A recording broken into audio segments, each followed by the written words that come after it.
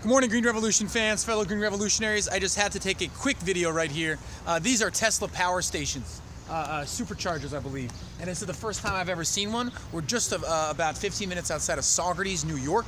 And I just want to say thank you to Elon Musk. Thank you to all the people driving electric vehicles. Thank you to Secaucus and Amanda Nesheiwat and Mayor Gonnelli for having electric vehicle charging stations. I mean, this is the future, uh, unequivocally.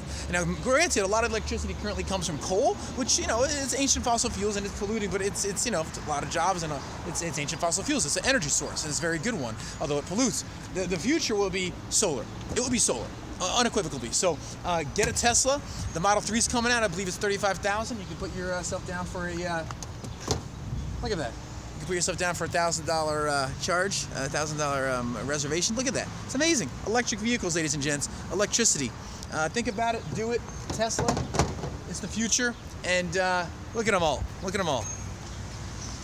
It's amazing. At a QuickChek, nonetheless, you know? So go QuickChek, go Tesla. Subscribe to stay alive. Green Revolution, one people, one planet.